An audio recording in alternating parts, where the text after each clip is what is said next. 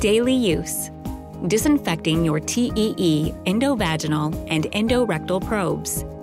Following your manufacturer's protocol for manually cleaning, rinsing, and drying your probes, you're ready to disinfect it in the Astra. At rest, the display switches back and forth from ready for use, press enter to start, and ready for use, date and time. Scan the probe connector and place in the wall bracket. The display now reads Insert probe. Insert the probe into either disinfection tube of the Astra. Slide the probe through your gloved hand in a slightly curved motion, and place the probe handle into the holder and the cable over the strain relief. The glove that held the probe shaft should now be removed as it may be contaminated. The display now reads Scan Exam ID. This is the accession number or other identifier the display now reads Closed Door or Scanned Second Probe. If you're doing a single probe, simply close the door. If you're doing a second probe, put on a fresh glove, scan the second probe, and follow the prompts. Do not try to add a second probe once the door is closed. Closing the door turns on the scanner, and the display reads Scan Operator ID. Press Enter to skip. Next, scan the test strip bottle that will be used to check the concentration of the disinfectant solution. Scanning the test strip bottle confirms the bottle is not expired and that the test strips are compatible with the disinfectant in the Astra. While the disinfectant is pumping up, place a paper towel with a test strip beside the unit and replace the bottle cap. Now it is time to perform the minimum required concentration, or MRC test.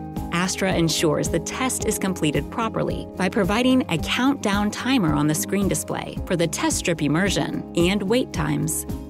It is important to have the test strip ready in hand before selecting Start, as the MRC countdown will begin as soon as Start is selected. Open the top sliding door, and using a gloved hand, dip the test strip into the disinfectant and hold for the time specified on the screen remove the strip, and close the door. Touch the edge of the strip onto the paper towel and wait for the time specified on the screen. Compare the strip to the bottle chart. The display shows Test MRC Pass or Fail. After you press the pass arrow, it is time to perform the TEE probe electrical leak test. For Astra TEE users only, make sure the probe electrical connector is locked into place in the transducer adapter. Next, insert the conductivity probe into the chamber and select Full Test on the leak tester. The meter will perform its reading.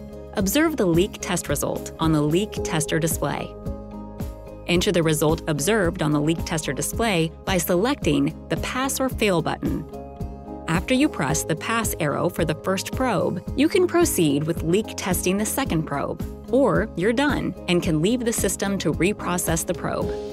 Once reprocessing begins, the Astra display will show the estimated time remaining. Typical total reprocessing time, including rinsing, is only 10 to 15 minutes, depending on the disinfectant used in the system.